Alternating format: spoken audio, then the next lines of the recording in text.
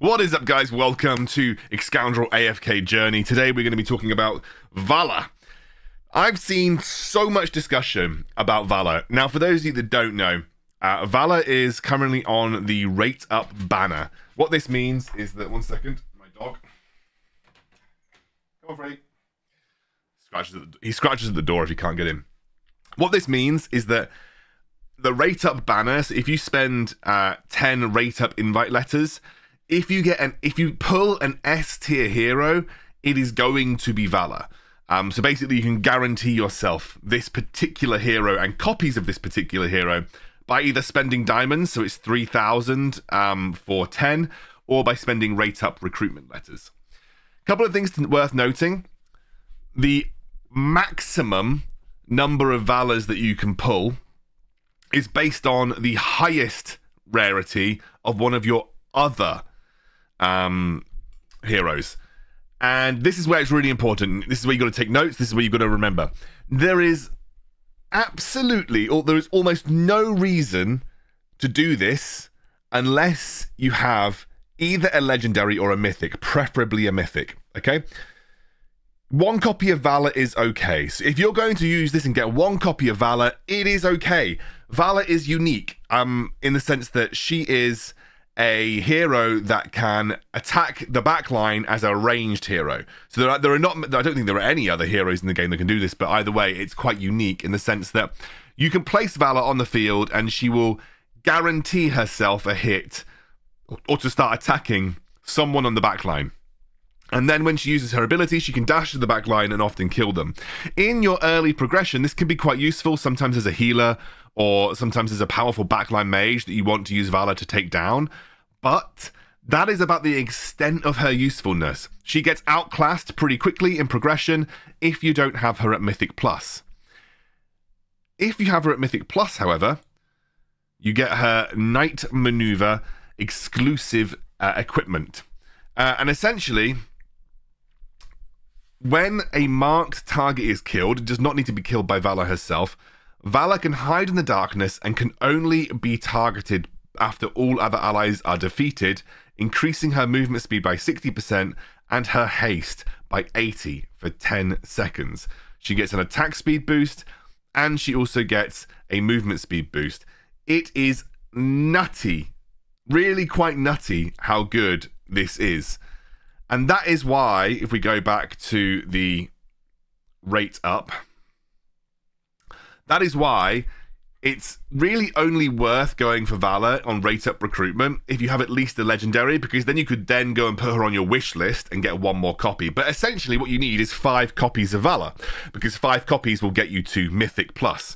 Mythic Plus is where Vala actually becomes good, and she can solo carry you through plenty of encounters.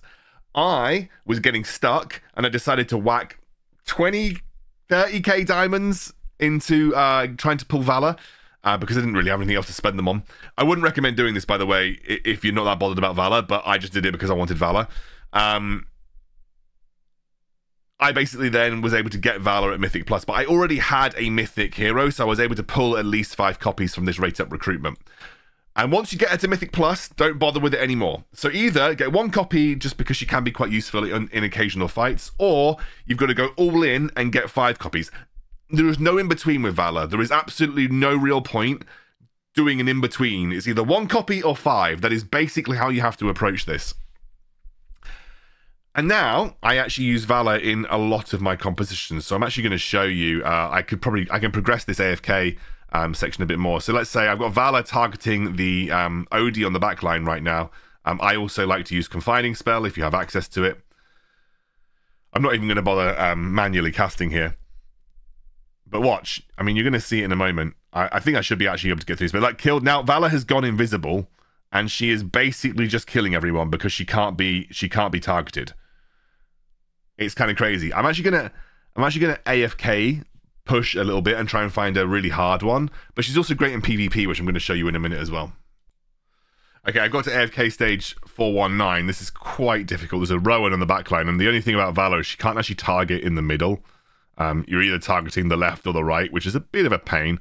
But what I like to do in these situations is sometimes change out to Iron Wall spell. Um, because this just means that my Thorin survives a little bit longer, which just can sometimes set up my uh, Vala a bit more time. There's a lot of healing on this. Uh, yeah, a lot of healing, which is a problem here. I need to hopefully get. Yeah, there we go. Taken down low. There's too much healing at the moment. I need Vala to dive to the back line, really. Okay, we've killed one. Good. There we go. Vala jumps in. She's not actually going to do much here. Did enough stuns on the back line, which was good. Sometimes I like to switch out to Iron Wall spell just for my Thorin because it means that my Thorin's much more likely to stay alive and buy my time, buy my team time.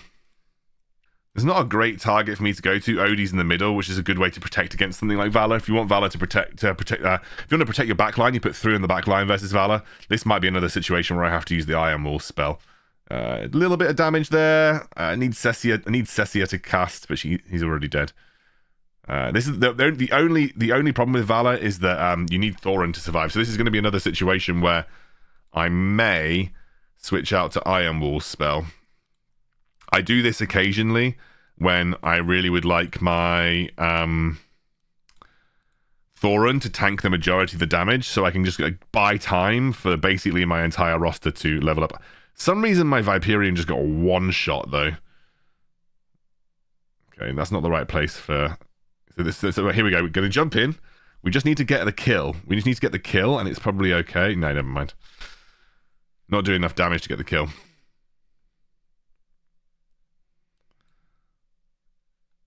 I think this is definitely possible. I just need to make sure that it's my my Viperion is not getting absolutely one shot because he was just getting one shot by something. Yeah, what's one shotting him?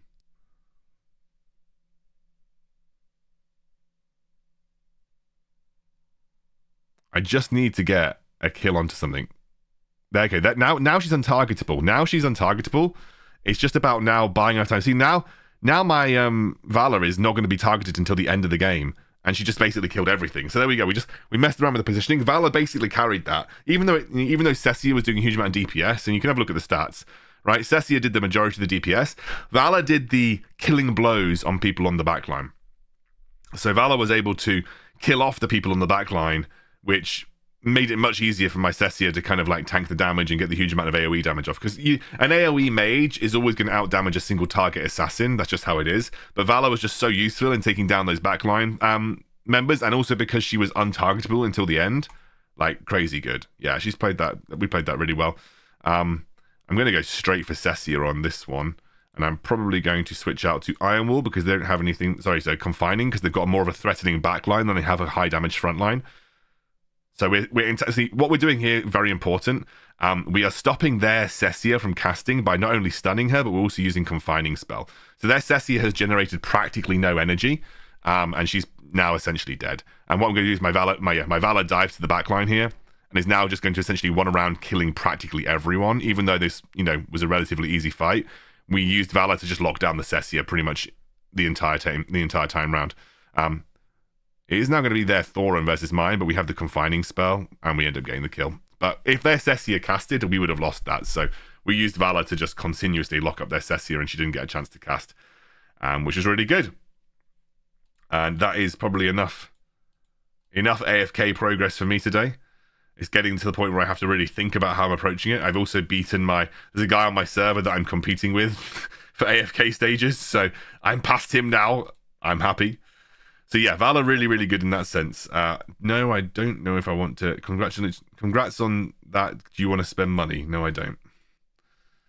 I spent enough. I've spent enough money on this game already. One two five. You always want to forge. There's no point. You can't save those forging resources, so you always want to forge if you can. And right, I'm going to go show you Cecia in. Sorry, not Cecia. Um, Vala in PvP. So this guy's. Can we get someone who's a little bit higher? Uh, yeah, there's not that many people in the ladder, so I'm going to have to go for this person. Right.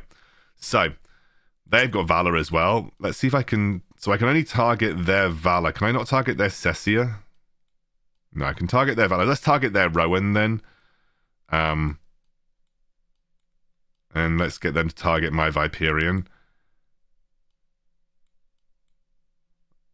I don't really want their... um. I need my I need that Viperion there. Pretty much the same composition as me. He's just running Lucius. Uh, he's also running Healing Awakening spell, whereas I'm running Confining spell, which is just better for PvP in my opinion. All right, so Vala, Stun, there, Rowan. We're going to get our Rowan to cast first, which is always really good. And now, look, my Vala's just going to clean up their entire team. She's in. She's got her Mythic Plus enchant, so she's just going to, yep, killed theirs. Boom. Boom. Vala is Vala at Mythic Plus is insanely good for PvP. I am a higher power level than this guy. I might try and see if I can do some more to find someone that's at a relatively similar power level to me. Um, let's go. It's always worth it to spend a few diamonds on this. This will. Okay, this this this person is at a similar power level, in fact, higher power level than me. So they've got Antandra in the middle there. Um, so we're going to do this. They're running Confining Spell as well. So they are running a Vala at 111 with Mythic. I think she's Supreme. So I'm probably, I am probably going to lose this. Um, let's put my Viperion taking the damage, and I want to lock. He's also got um Scarlita. Wow. Okay. Scarlita not at Mythic Plus though, so that's obviously positive. Um, Let's just keep stunning. Let's just wait. My yeah. So my my Rowan's to cast, which is great. Which should. Oh no, she just one shot my um. Their Vala just one shot my Vala. However, we do have our Cecia ult coming through. There's their there's their Cecia ult, which is a bit annoying. Yeah, I mean they had Scarlita, which kind of popped, like absolutely popped me. Um, Scarlita is insane. But that shows you his Vala. His Vala is slightly higher level and at Supreme and just basically one-shot me. So uh, we'll see if we can go again. It's always worth it to try and go Dongus. Yeah, let's go for Dongus. I know Dongus. Uh, again, also running Vala at Mythic Plus. Uh, why am I running him? I don't want to run that person. I want to run Vala here. He's got Brutus at Mythic Plus, and he's got Smokey and Meerky at Mythic, and he's also running Temesia. So I am expecting Temesia is this is really nice from him. He has set it up so that Temesia will always be the target of the Vala on this map, which makes it a little more difficult, whereas Vala is going to be Vala is unless I put Vala a little further forward, Vala is going to be um, my target. Ah, very, very clever. Very clever positioning. Temesia will just run through this map as well. She's very, very good, to be fair. Temesia is just basically one-shot stuff. Um, has actually gone all right. The, this has gone okay for the time being. I need to get my Cecia to cast. We, we just need to get... um. Yeah, so that's a good cast from Cecia. Yes, yes. Now we got my Vala into uh, into her X form. We're going to be fine here. Really, really clever positioning from him, but I just don't think his um I don't think his Temesia was high enough level to kind of be able to play that role effectively. But really good positioning from from that guy, just basically making it impossible for, um, or making it very difficult for Vala to um, hit anything other than the Temesia. And obviously Temesia is kind of tanky, so basically means that Vala gets stuck. One of the things about Vala is that it's like obviously she needs the kill to get that that EX weapon going. So you kind of want to get her on focus on a squishy target. You want to bet you want to um, pair her with extra damage to the backline, so things like Viperion and things like um, Cecia work quite well in that that regard. Um, things like Odie get stuck on the front line for quite some time, so you know you want things like Cecia and you want things like um, Viperion to support a um, a Vala to be able to get her EX weapon activated. Because if you don't get it activated, it's not as good. But yeah, she's she's incredible um, in PvP as well. If you care about PvP. Um, and also obviously very good in story. Now I've I've obviously now just made it to the the Mountains. I could probably clear the majority of the Veduso Mountains content one. I probably mm, pretty close to getting to uh, unlocking uh, Mountains two. So I've still got quite a lot to do. Um, and and honestly, Vala's made that good. But like I said, it is it's one copy or five copies.